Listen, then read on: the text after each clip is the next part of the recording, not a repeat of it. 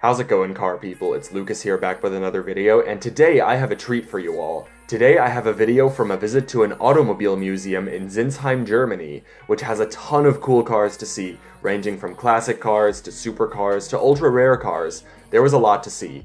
I'm also doing post commentary for this video so it's easier for me to articulate things. Anyways, without further ado, let's get started. Right at the entrance to the museum was this, the DeLorean time machine with absolutely everything that the one from Back to the Future had. For those who don't know, the Back to the Future movies are my favorite movies of all time, and are the reason as to why the regular DeLorean is my dream car, but more on that later. This museum is made up of three different halls. This right here is the first hall, which contains mostly American cars and these hot rod vehicles. Crazy. Here's a classic Corvette, one of my favorite sports cars of all time. And here's a Corvette squad, and another Corvette. And another one with the license plate Nice Vet, because it is one. Here's a vintage Mustang, and a classic New York Police Department car, a Jeep made completely out of wood, a Cadillac XLR, a Ford GT, my favorite supercar, and some cars from the 1910s and 1920s. I mean, there was a lot of cool stuff in there. But wait, it gets better. Here's a Dragster Mini Cooper, which by itself is already cool to look at, but take a look at its motto. You don't need to be fast if you are that beautiful. I mean, it totally makes sense. This is by far the best motto I've ever seen on a car. Also, check out the sweet view of the cars from above. Pretty awesome. On the other end of the hall, there were some military vehicles, which were pretty cool to look at, classic Volkswagen Beetles included. Oh, and there's a train in there too. Nice. And that is it for Hall 1. Let's move on to Halls 2 and 3. Alright, Hall 2 contains this Red Bull Mini. Pretty awesome. A Mercedes-Benz 300 SL. A heavily modified Mercedes-Benz SLR. A Ferrari and Lamborghini squad containing a Ferrari F40, a Ferrari Testarossa, a Lamborghini Miura, a Countach, and the infamous Lamborghini LM002. Here's a large Formula One car squad. And here's a Maybach squad, and many more classic Mercedes-Benz and Maybachs. Some of them look like they are even bigger than our Toyota Sienna, which is saying something.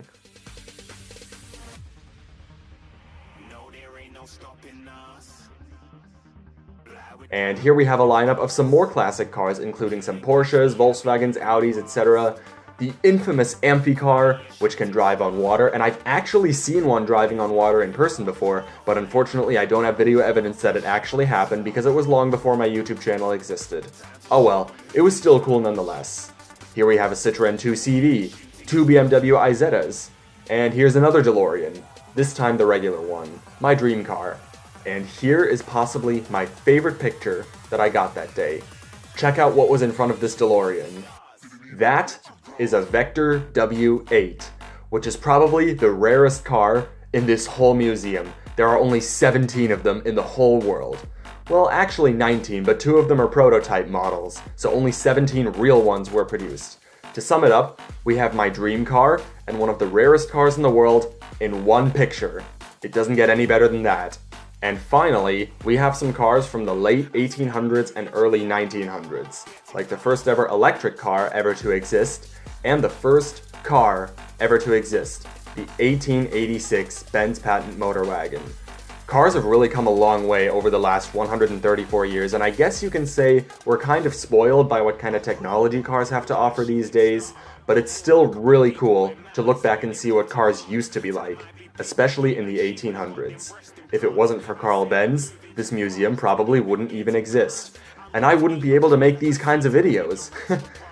Now let's take a look at Hall 3, which is the newest hall in this museum, having been opened in September 2019. This hall only contains one car brand, which you can clearly see is Alfa Romeo. There were some classic Alfa Romeos, some new ones,